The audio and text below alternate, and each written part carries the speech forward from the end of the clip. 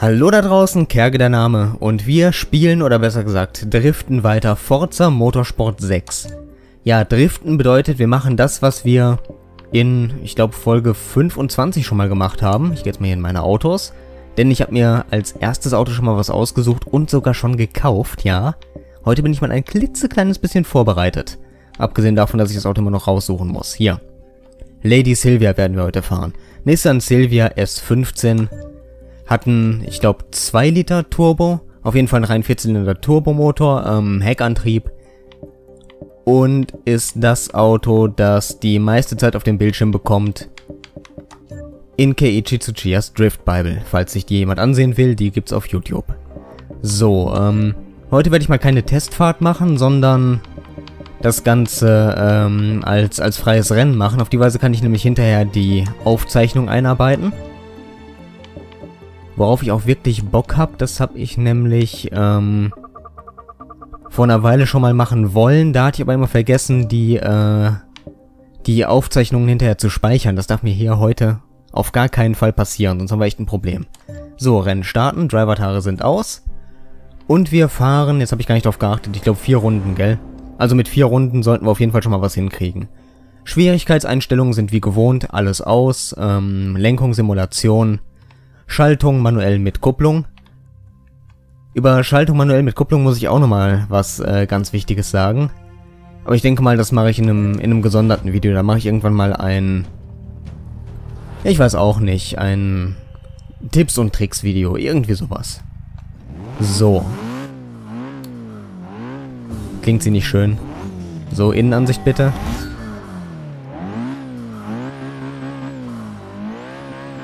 Okay, wir können bis 8000 drehen, da riegelt sie ab. Dann mal los. So, wenn das jetzt alles so ein bisschen so funktioniert, wie ich mir das vorstelle, dann werdet ihr jetzt das Cockpit unten links am Bildschirmrand sehen. Unten rechts wie... Oh, da rutsche ich ein bisschen weit raus. Na, geht noch, geht noch. Aber ja... Oh, oh, wie das Auto kommt. Haha. okay, das ist geil. Ja, die Silvia war schon immer ein gutes Driftauto, wirklich. S13 kommt ein bisschen untersteuerig daher, aber hier S15 ist echt super. Ja, guckt euch das an, herrlich. Jedenfalls unten rechts zu sehen, ähm, das, was man normalerweise unten rechts sieht, ähm, Drehzahlmesser, Gang, Geschwindigkeit und vor allem diese zwei Balken, der rote und der blaue, die ähm, Gas und Bremse anzeigen. Kann man sich so ein bisschen ansehen, wie ich hier fahre. Also warum mir ein Drift gelingt oder warum mir ein Drift nicht gelingt, könnt ihr da meistens sehr schön ablesen. Ich muss ich mal kurz räuspern, Sekunde. So, Entschuldigung, das kommt schon mal vor. Ähm, ja, und in der Mitte des Bildschirms sollte jetzt bereits die Aufzeichnung über den Bildschirm flimmern, die ich zu diesem Zeitpunkt natürlich noch nicht sehe. Okay, wir fahren vier Runden, tatsächlich. Ah, schöner Bremsdrift, ach, herrlich. Also wenn ihr ein gutes Anfängerauto sucht, ganz heißer Tipp, Nissan Silvia S15. Na, na. Okay. Da hätte ich vielleicht ein bisschen früher in den zweiten gehen müssen für mehr Stabilität. So. Generell könnte das Auto fast noch ein bisschen mehr Sperre an der Hinterachse vertragen. Aber das ist Geschmackssache. Man kann auf jeden Fall mit dem Auto auch so umgehen, wie es nun mal ist. Warte mal, hier nochmal ein bisschen... Jo, nochmal ein bisschen angeschleudert. Und hier kommen wir jetzt ziemlich weit. Oh, das ging sogar noch. Das ging sogar noch. Also im dritten haben wir nicht wirklich das Moment, das ich mir wünschen würde. Da fehlt einfach noch ein bisschen was. Aber es ist auf jeden Fall ein wirklich tolles Driftauto hier. Ich lenke einfach ein, warte einen Moment. Und sobald das Heck kommt, trete ich aufs Gas, lenk gegen. Herrlich. So macht das Spaß. Man braucht nicht unbedingt 500, 600 PS, um zu driften. Das hier langt völlig. Natürlich, mit 500, 600 PS könnt ihr den Drift deutlich länger ziehen, ist schon klar. Aber es ist nicht zwingend erforderlich, um generell ein Auto quer zu hauen. Na komm, hier, Klatschkick. Ja. Ja, komm, nochmal. Okay, das war jetzt nicht so atemberaubend. Also an der Stelle wäre ein 500, 600 PS Auto definitiv besser weggekommen. Das gebe ich zu. So, hier nochmal ein bisschen. Und leicht gegenschleudern. Inertia Drift mitnehmen. Ja. Nein, das, das geht zu weit. Das geht zu weit. Also das kann ich so jetzt nicht hinnehmen. Das geht echt zu weit heute. So, mal schauen. Ja, sehr schön, sehr schön. Ich würde sagen, für die nächsten beiden Fahrzeuge, ich habe mir wieder drei Fahrzeuge vorgenommen, für die nächsten beiden nehmen wir auf jeden Fall zwei andere Strecken, dass wir nicht immer das gleiche sehen. Bin noch nicht ganz sicher, welche. Ähm, ich glaube, ich hätte Bock auf den Nürburgring. Ich weiß auch nicht, Nürburgring ist, ist einfach eine schöne Strecke zum Fahren wie auch zum Driften. Nein, nicht die Nordschleife. Obwohl... Also ohne Witz, auch die Nordschleife kann man einigermaßen, äh, muss man halt vorsichtig sein und seine Winkel gering halten, aber äh, prinzipiell geht's. Können wir auch irgendwann mal machen, aber dieses Mal würde ich doch ganz gerne den GP-Kurs erstmal nehmen. Ah, guckt euch das an, guckt euch das an. ist das geil oder ist das geil? Und ich meine jetzt nicht meine awesome Driver Skills, die ich nicht habe, sondern ich meine einfach, wie das Auto abgeht. Das ist einfach eine Driftmaschine. Und so sehr ich den GT 86 auch mag, aber hier kann er nicht mithalten, also so leid es mir tut. Ach, herrlich. So wünsche ich mir das doch.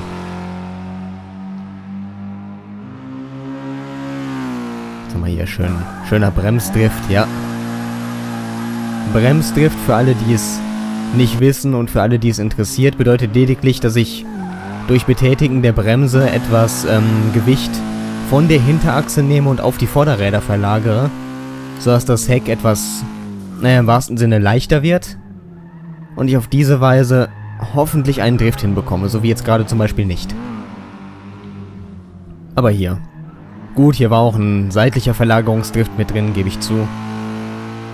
Aber man muss halt die Option nehmen, die man bekommt. Ich habe übrigens in dieser ganzen Fahrt hier noch kein einziges Mal die Handbremse benutzt, fällt mir gerade auf. Könnten wir auch mal machen. So, hier ein bisschen anbremsen. Komm, so, ja, da kommt er schon. Das war gerade ein leichter Shiftlock. Komm, zweite. Ich muss echt ein bisschen früher zurückschalten. So ganz niedrige Drehzahlen mag unsere Silvia dann doch nicht. Oh, okay. Okay, Entschuldigung. Das war jetzt nicht so schön. So, paar Kurven haben wir da vorne noch. Wo nutzen wir mal die Handbremse? Irgendwo... Ich möchte die auf jeden Fall einmal nutzen heute. Hier, komm. Handbremse. Dann hier Inertia. Na, komm. Ja, okay. Ja, das war jetzt nicht sehr elegant.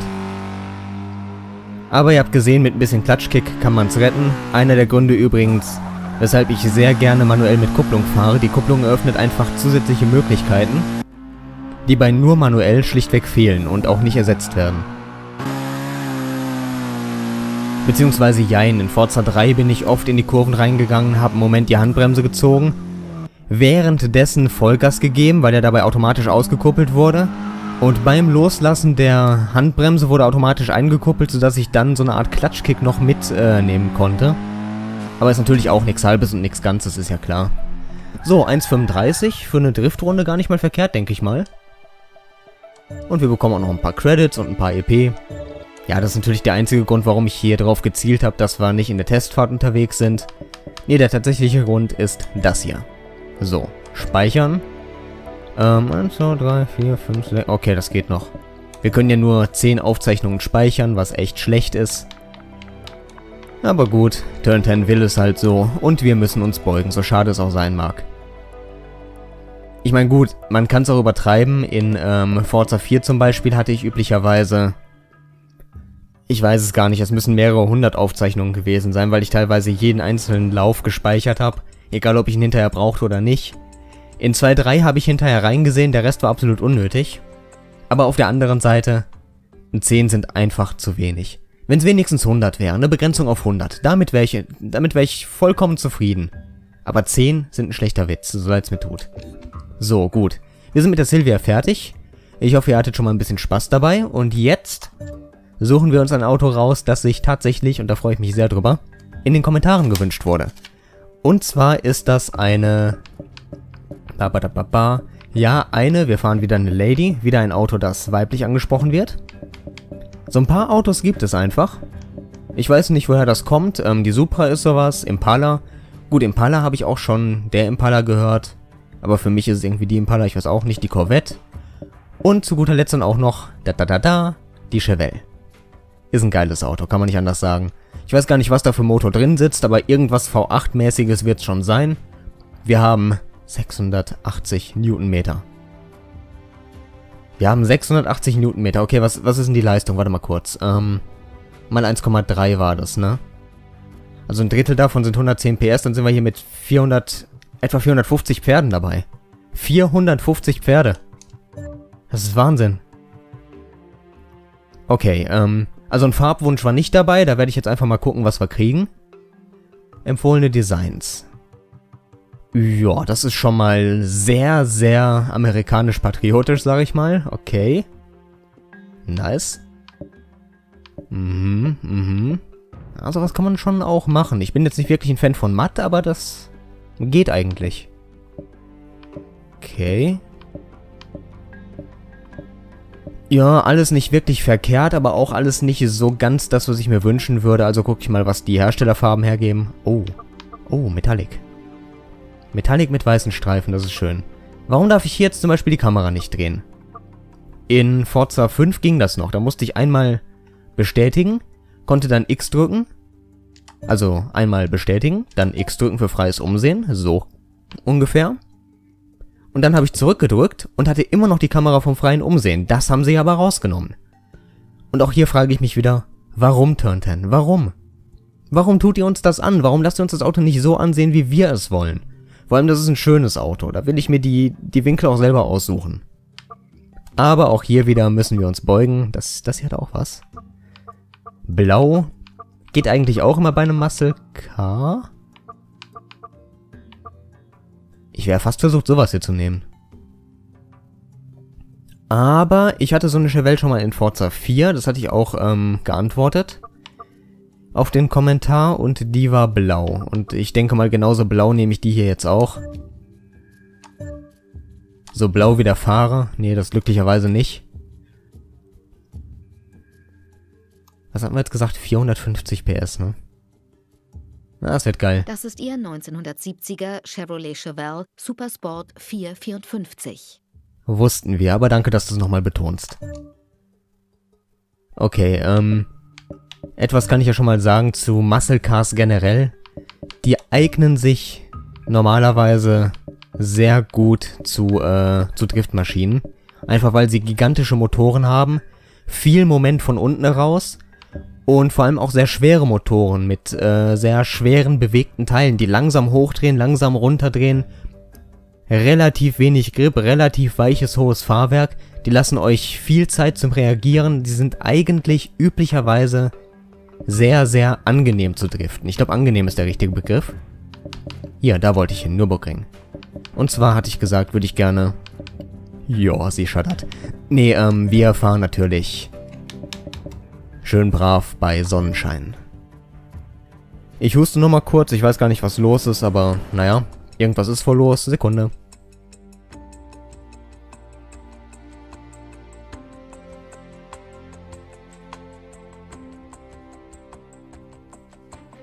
So, da bin ich wieder. Boah, ich werde doch nichts ausbrüten, oder wie sehe ich das? Also, das ist ja, also... Naja, ich drücke mir einfach mal die Daumen. Von euch erwarte ich das nicht, aber ich werde sie mir einfach mal selber drücken in diesem Zusammenhang. So, wir starten das Rennen. Mods brauchen wir hierfür nicht, denke ich mal.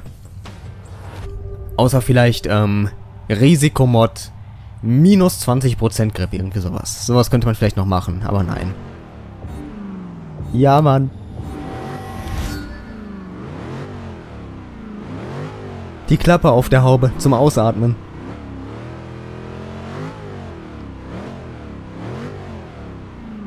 Ich glaube, ich bin gerade ein bisschen verliebt in das Auto, jetzt schon. Geil. Okay, fahren wir. Drei Runden Nürburgring, da wird ja wohl irgendwas gehen. Wie hoch dreht die Hütte? Okay, bis etwa 7000. Damit kann ich leben, das ist schön.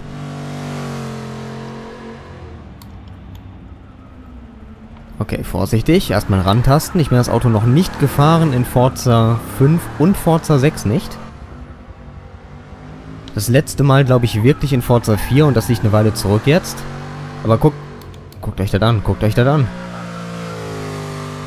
Gut, wir sind jetzt vielleicht nicht allzu schnell unterwegs. Mit 450 PS kann man schneller fahren, aber... Ich weiß nicht, ob man damit viel mehr Spaß haben kann. Ja, nice, nice. So will ich das sehen. Sehr lang übersetzte... Oh, gar nicht mal so lang übersetzte Gänge. Schick. Ja, das ist immer so eine Sache bei den Amis. Manche haben sehr, sehr, sehr lange Übersetzungen, wo man bei jedem Schaltvorgang in so ein tiefes, tiefes Loch reinfällt. Manche Autos haben einfach nur einen langen ersten Gang und danach dann zack, zack, zack, einen nach dem anderen. Und das liebe ich. Und das hier ist so einer.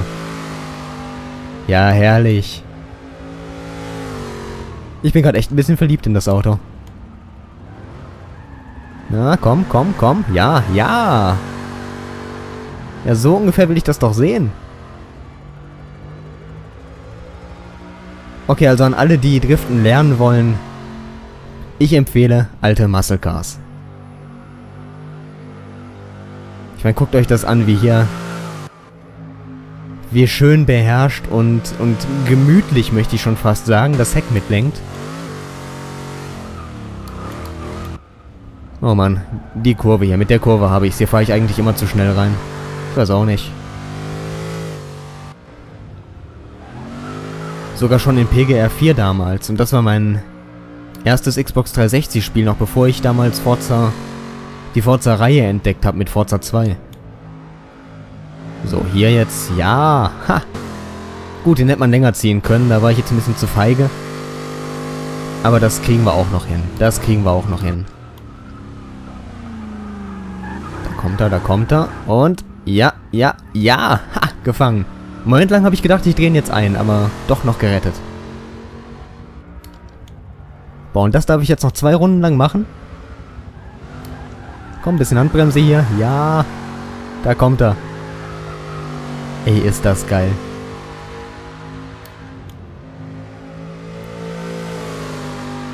So, dann gucken wir mal, was der Hobel läuft.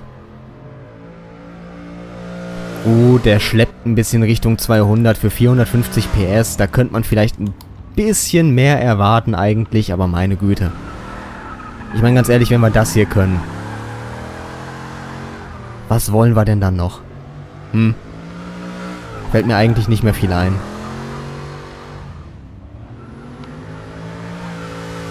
So, also danke MC Phlegmatisch oder Mac Phlegmatisch oder wie auch immer ich das aussprechen soll, das weiß ich jetzt leider nicht. Aber auf jeden Fall danke für den Vorschlag, das ist... Ey, das macht gerade so Laune, ganz ehrlich. Na, komm, komm, komm, ja. Nicht ganz schön, aber gerettet. Also ihr merkt schon, wenn der Driftwinkel am Austritt ein bisschen zu groß ist und zu lange groß ist, dann ist das für mich schon ein relativ versauter Drift. Hat natürlich mit den richtigen Showdrifts nicht viel zu tun, aber mit denen habe ich selber auch relativ wenig am Hut, ehrlich gesagt. So. Ja. Ey, geil. Einfach nur geil. Was sagt denn der Verschleiß? Serienreifen verschleißen eigentlich nicht so schnell, aber wir können ja mal gucken. 1,8%. Ach komm, das ist ein Witz. Wenn uns nicht der Tank irgendwann leer gehen würde, könnten wir noch ewig so weitermachen. Ja, ja, ja. Okay, den hätte ich gerne ein bisschen weiter nach außen gebracht noch. Aber wir haben ja noch eine Runde. Ich kann ja noch ein bisschen üben, ne? So, hier wieder ein bisschen Bremsdrift. Ach, das ist geil. Der kommt. Entschuldigt, dass ich den gerade so feiere, aber was soll ich denn machen? Ich bin auch in Forza schon viel zu lange kein kein richtiges Muscle Car mehr gefahren. Und überhaupt neigt man ja irgendwie dazu, ist zumindest so mein Gefühl, Autos immer gleich aufzubauen auf irgendeine bestimmte Klasse und alle möglichen einstellbaren Teile rein und dem Auto irgendwie ein Fahrverhalten aufzwingen, was, was mir als Spieler gerade passt. Und dabei vernachlässige ich es viel zu oft, die Autos einfach mal im Serienzustand zu fahren. Ich meine, ich fahre die einmal im Serienzustand, zwei, drei Runden auf Catalunya. um zu gucken, wie ist das Auto aufgebaut und was sollte ich am besten einbauen, aber üblicherweise drifte ich dabei nicht, sondern versuche mir anzugucken, okay, brauche ich ein Getriebe, brauche ich dieses, brauche ich jenes, wie viel Leistung, wie viel Reifen, solche Sachen. Und vergesst dabei teilweise, wie viel Spaß es eigentlich macht, einfach mal ein Serienauto zu fahren. Mann, das ist geil. Okay, eine Runde haben wir noch. Mal gucken, ob wir es jetzt nochmal richtig krachen lassen können. So. Wir haben sogar einen Rivalen geschlagen gerade. Dann versuche ich mal hier nicht rauszufliegen, dass wir nochmal eine saubere Runde hinbekommen. Okay, ein bisschen Handbremse. Komm, komm, komm. Ja, ja, sehr schön, sehr schön. Ach, herrlich. Ich hoffe, das macht nachher in der Aufzeichnung auch ein bisschen was her, denn diese, diese Minimaldrifts, die ich hier mache, die könnten in der Aufzeichnung vielleicht ein bisschen, naja, wirkungslos sein. Das steht durchaus zu befürchten. Also mal gucken, ob wir hier vielleicht noch ein bisschen... Na komm, ein bisschen größere Winkel hinkriegen. So ungefähr. Komm, komm, noch ein bisschen. Ja. Nice.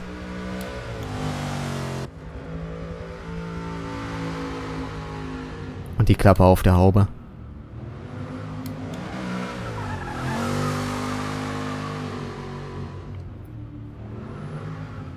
Das Auto reagiert aber auch wirklich sehr, sehr langsam auf jede Angabe. Lässt wirklich viel Zeit zum Handeln, viel Zeit zum Korrigieren. Also ideal. Einfach ideal. Kann ich nicht anders sagen. So. Ihr habt ja gerade vielleicht gemerkt, beim Anbremsen nach links gelenkt, dann die Bremse nochmal leicht geöffnet zum Lastwechsel. Das sind so die kleinen Kniffe, die ich gerne auch nochmal betonen möchte hierbei, die ich vielleicht auch euch so ein bisschen mitgeben kann in dem Zusammenhang. Ach, geil. Gut, hier habe ich jetzt, da hätte ich jetzt weiter ausholen müssen. Okay, die Kurve habe ich mir jetzt gemerkt. Hier gehe ich jetzt nicht so schnell rein. Sondern quer. Ja. Schön. Okay, hier habe ich jetzt gerade versucht, mit einem Power-Shifting quasi on the fly den dritten Gang reinzuhämmern. Aber dafür ist das Getriebe ein bisschen zu langsam. Hat trotzdem einigermaßen funktioniert, aber vielleicht ein bisschen mehr schlecht als recht. Also wer anfangen will mit dem Driften, kauft euch eine Chevelle, fahrt damit ein paar Runden. Und wenn ihr meint, ihr habt es ganz gut raus, dann könnt ihr anfangen, ähm, naja, mit dem Diff bin ich eigentlich ganz zufrieden, muss ich sagen. Die Hinterachse verhält sich sehr, sehr angenehm. Die ersten Schritte, die ich vorschlagen würde, wären erstmal ein steiferes Fahrwerk und ein bisschen Leichtbau. Dann mal gucken, wie sich das Auto anfühlt. Dann vielleicht mit einem einstellbaren Diff anfangen zu experimentieren. Vielleicht mal gucken mit den Rennbremsen, die Bremskraft ein bisschen nach hinten, dass er noch mehr mit, mit dem Heck kommt beim Anbremsen, solche Sachen. Und das Auto dann so nach und nach aufbauen denke, da kann ein richtig, richtig geiles Spaßmobil draus werden. Aber ihr habt's gesehen, Serienzustand reicht. Der reicht einfach, mehr brauchst du nicht. So, Aufzeichnung natürlich wieder speichern.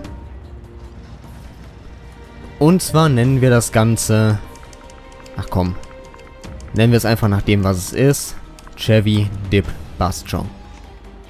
So. Okay, verlassen wir das Ganze wieder. Nächste Rennen brauchen wir nicht.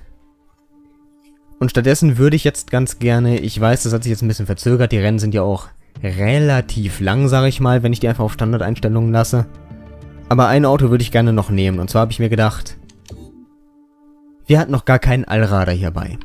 Und das machen wir jetzt mal. Auto finden, da habe ich mir nämlich auch schon was ausgesucht. Ähm, wo muss ich denn dafür hin? Hier. Genau, er hier. Lancia Delta Integrale. Ein richtig, richtig geiles Auto. So ein, so ein fieser, kleiner GTI-Killer. Und das im Hintergrund, falls es zu hören war, war gerade mein Handy. Das ignoriere ich jetzt aber gerade erstmal. Okay, nice, nice, nice. Stickerbomber? Aber, ja, bisschen tiefer gelegt mit Flügeln gibt das bestimmt ein gewisses Rennfeeling, denke ich mir mal. Mhm, mhm, mhm. Äh. Okay, was ist denn das jetzt? Das ist irgendwie abgeschliffen, überarbeitet. So gerade so entrostet nehme ich mal, ne? Gar nicht schlecht. So was habe ich mal mit einem 4 gemacht. Ja. Oh ja, oh ja, die Martini-Lackierung. Geil. Okay, aber wir wollen heute mal scharf im, äh, scharf im Wolfspelz. Ja, genau. okay, können wir vielleicht auch irgendwann mal machen, aber heute hätte ich gerne Wolf im Schafspelz, also das alles so ein bisschen... Komm, hier, Unirot aus dem Baumarkt. Passt immer. Was, was wollen wir mehr? Damit fällt er auch kaum auf. Gut, der Schafspelz ist jetzt ein bisschen relativ, denn ganz ehrlich, wenn Delta Integrale auf der Das Straße sieht... 1992er Lancia Delta HF Integrale Evo. Der ist fast so alt wie ich, Sachen gibt's. Nee, aber wer das Auto sieht mit den ausgestellten Kotflügeln und so weiter, der weiß schon, okay, hier geht mit Sicherheit irgendwie die Post ab.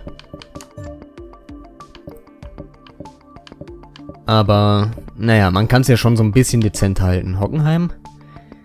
Hockenheim hat vielleicht ein bisschen wenig Kurven, da sind wir ziemlich lange am geradeausfahren. Indianapolis? Weiß ich nicht. Ich hätte gerne irgendwas, was sich beim Fahren dynamisch anfühlt, wenn ihr wisst, was ich meine. Weil gerade so ein Allrader, der, der braucht immer so ein bisschen Schwung, den er mitnehmen kann. Das, das ist immer sehr hilfreich. Ähm, ähm, ähm. Sebring, Sebring. Nee, eigentlich eher auch nicht. Boah, das ist jetzt schwierig. Das ist jetzt... Katalonia? Sollen wir Katalonia? Boah, ich weiß nicht. Die Kurven sind vielleicht auch ein bisschen zu lang für das Auto. Ich hätte gerne irgendwas, wo wir uns damit richtig schön austoben können. Wie sehen denn hier die Layouts aus? Das könnte man vielleicht sogar... Das sind auch schon wieder diese langen Geraden und dann die 90-Grad-Klopper. Bin ich nicht so wirklich Fan von. Entschuldigt, dass sich das jetzt hier ein bisschen in die Länge zieht. Ich bin einfach mal wieder super, super vorbereitet. Man merkt's vielleicht. Komm, wisst ihr was? Wir, wir probieren's einfach mal. Meine Güte, in irgendwelchen Kurven wird das Auto schon quer kommen, denke ich mal. So, starten. Drei Runden Katalonia, die Strecke kenne ich auch einigermaßen. Da wird schon irgendwas gehen. Was haben wir jetzt also an Bord? Wir haben Allrad an Bord. Wir haben Breitbau an Bord. Wir haben einen relativ kurzen Radstand an, an äh, Bord. Das ist immer gut. Ähm, ein Turbomotor. Ich weiß nicht, ob da noch mehr zu sagen ist. Denn ganz ehrlich, Rennen starten. Ich denke, viel mehr braucht man nicht für eine, für eine gute Rallye-Basis. Und letzten Endes ist er das ja. Lancia Delta Integrale bin ich öfter mal gefahren in... Okay, 7,5 riegelt er ab. Okay, so schön. So weit, so schön, so wollte ich sagen. Ja, das Auto bin ich öfter mal gefahren in Colin McRae. Im Dreier war der, glaube ich, auch schon drin und im 05er meine ich auch. Aber ich glaube, ich bin das Ding hauptsächlich im Dreier gefahren. Boah, das ist schon lange her, ich weiß es nicht mehr genau. So, dann gucken wir mal. Ja, das Heck will schon so ein bisschen mitlenken. Aber wie gesagt, ich denke, die Kurven hier sind ein bisschen lang. Wir gucken mal gleich den Buckel runter, ob da ein bisschen mehr geht. Das war jetzt ein bisschen die Handbremse. Also man merkt schon, irgendwo will er. Irgendwo will er quer. Ich bin nur noch nicht so ganz sicher, wo. Vor allem, wenn ich voll aufs Gas steige, wird er wieder untersteuerig. Der hat zu viel Kraft an der Vorderachse. Vom Gefühl her könnte das eine 50-50... Genau. Nee, vom Gefühl her könnte das eine 50-50-Verteilung sein. Ja, da kam er jetzt ein bisschen. Okay, solche Spitzkehrenmarker. Da wäre vielleicht, ähm, Heers Marina gar nicht schlecht gewesen. Oder zu Kuba, aber zu Kuba gibt's ja nicht mehr. Seit Forza 4 schon nicht mehr. Warum gibt es zu Kuba nicht mehr? Das ist auch so eine Sache, die ich nicht verstehe. Ich habe zu Kuba geliebt. Zu Kuba war ein Virus drin, zu Kuba war in den freien Drift-Sachen drin, die ich oft gefahren bin.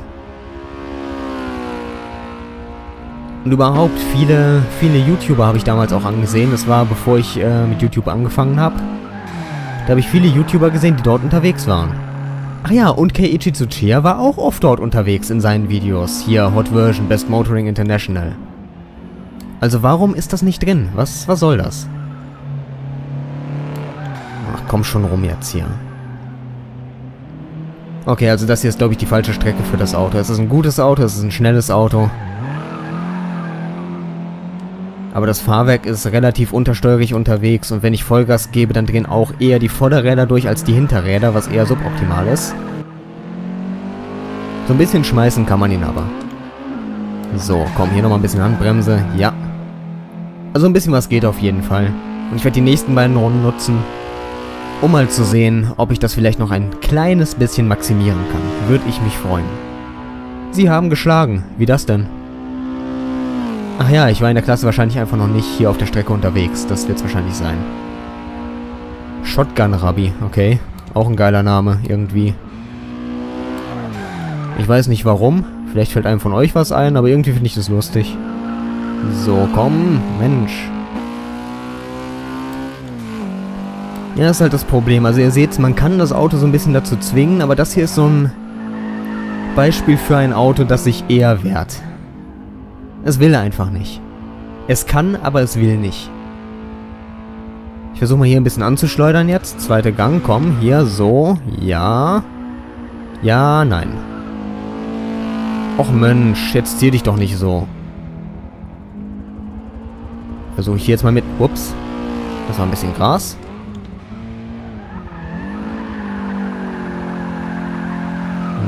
Einigermaßen.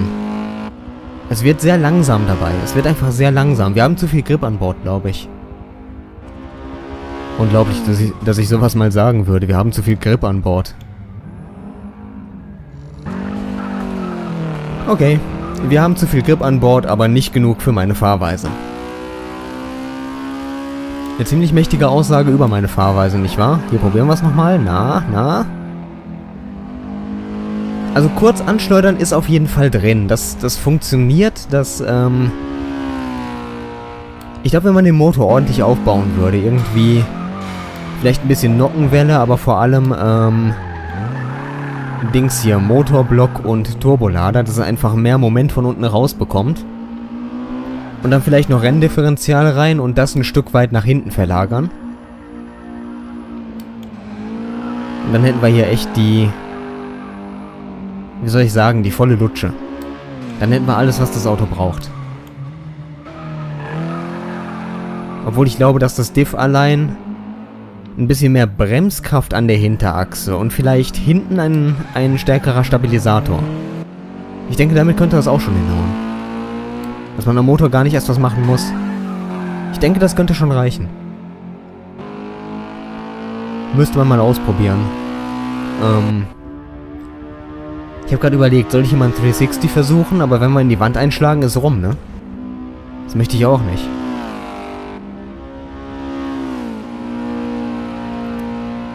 Wir probieren es gleich am Ende dieser Runde hier. So, komm. Jo. Komm, dritt, dritte war zu groß. Hier wieder ein bisschen Handbremse.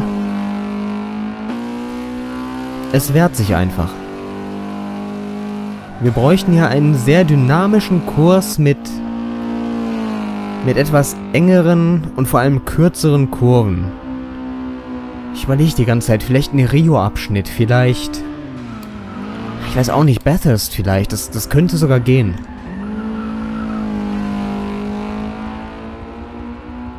Hier nochmal, komm. Nein, nein, das war nix. War aber meine Schuld, ich habe zu früh gegengelenkt, ich habe mich irgendwie nicht richtig getraut. Ja, das war jetzt ein schöner Verlagerungs- und Bremsdrift. Aber auch der funktioniert wieder nur sehr, sehr kurz bei diesem Auto.